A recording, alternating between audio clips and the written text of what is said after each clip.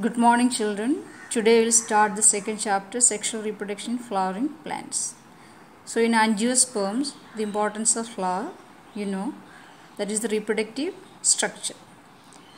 And in all flowering plants, that is in angiosperm, flowers from the reproductive structures. And here we will study, first of all, the pre fertilization structures and events, that is, before fertilization, how the structures male and female reproductive part especially.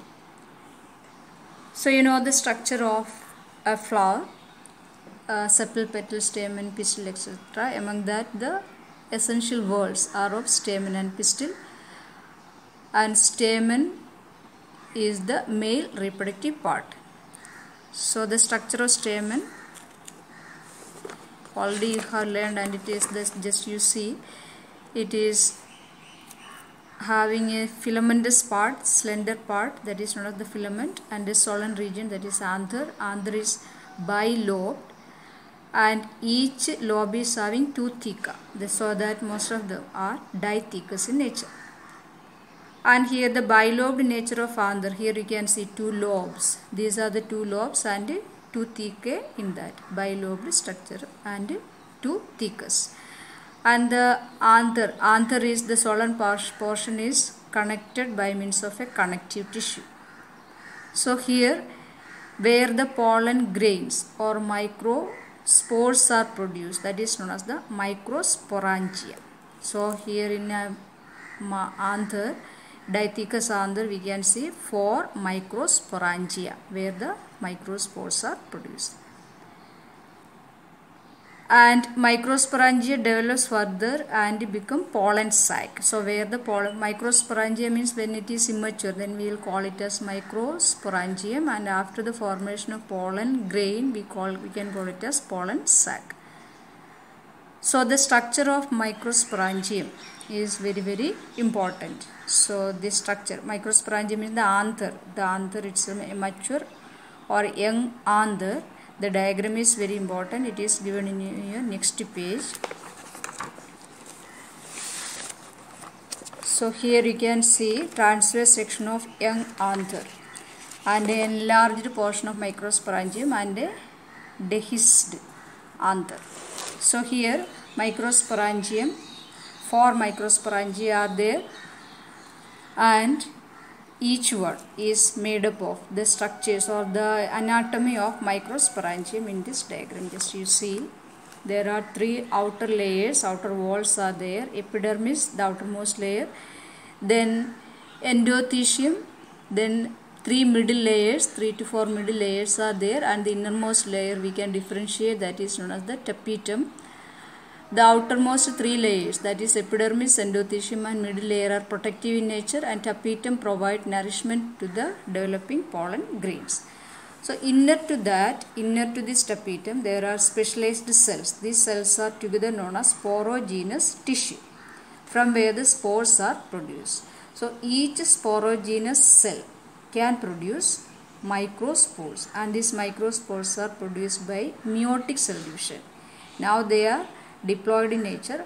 After meiotic cell division each sporogenous cell now from where the sporogenous tissues are produced that one we call it as sporogenous mother cell. That is pollen mother cell okay or microspore mother cell from where the pollen grains are produced. So they divide into four divide meiotically to produce four spores microspores and we call it as microspores tetrad. Meiotically they produce and this all these tetrads are of haploid in nature. So each one can form a pollen. They separate and form pollen grain? By the formation of two layers outwardly to it. So the outermost layer of the pollen grain is known as the exine it is a hard layer and their structure varies. Shape and spinous in nature sometimes smooth in nature like that. The exine varies. And this exine is made up of the hardest organic substance of living world that is known as sporopollenin sporopollenin is the hardest or it is the resistant rather resistant substance uh, ever known in the living world or organic matter. It which can resist acidity then alkalinity and also any enzymatic action cannot uh, destroy the sporopollen so because of that the sporopollen is, is absent in certain regions on the pollen grain that one form the germ pore through which the intine intine can protrude out as pollen tube. So intine is made up of cellulose and pectin. Okay.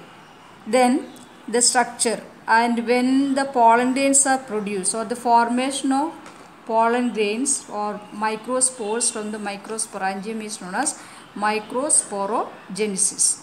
That is the formation process of formation of microspores from pollen mother cell is known as micro by meiotic division is known as microsporogenesis and the pollen grain which is formed from the male gametophyte. Male gametophyte means male gametes are there in the pollen grains. So when the anther matures and dehisces in 60 percentage of angiosperm the pollen grains are in two celled stage. Here a mitotic division takes place and the cell divides into two to produce a smaller uh, portion cell that one form the generative cell and a bigger portion or bigger cell that will form the vegetative cell. Why it is known as vegetative cell? Because it is not taking part in the reproduction later.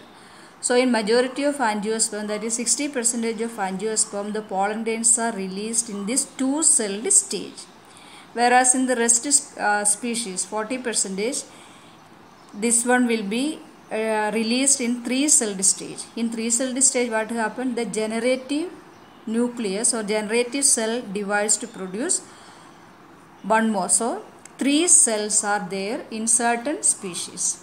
So vegetative cells uh, there is no function reproductive function for vegetative cell it is uh, nourishment give nourishment whereas the generative cell divides to produce the male gametes that is two male gametes are there in the pollen grain okay and this pollen grains importance of pollen grains pollen grains are used as food supplement. Then they are used uh, in the form of tablets. It is available food supplement athletes and all they use because it is highly nutritious in nature. And some of the pollen grains are allergic also. Some of the pollen grains causes allergy bronchial disorders asthmatic problem etc in certain individual and this viability of the pollen grain viability of pollen grains means how long it can uh, be active or when it fall on the stigma whether it can uh, produce it can uh, go into the female gametophyte and fertilize. That particular uh, nature is known as the viability of the pollen grain it varies from species to species. Some species it may it may be only in grass family wheat rice and all. It may the viability is only for certain uh, minutes. So viability varies. In species like wheat rice and all there after the release. Viability, viability uh, define or refers the ability of the pollen grain to germinate on the stigmatic region and fertilization in the embryo sac. That ability is known as viability. It varies. And in certain species or certain leguminaceae solanaceae etc the viability there may be for certain months. So sometime we can uh, preserve the pollen grains artificial method of preservation is there. Here pollen grains can also be preserved for future purpose in liquid nitrogen. That is a method to preserve pollen grains and then we call it as pollen bank. So this is the development of male gametophyte. Male gametophyte and microsporogenesis important in this chapter. Okay? So go through the video thoroughly and understand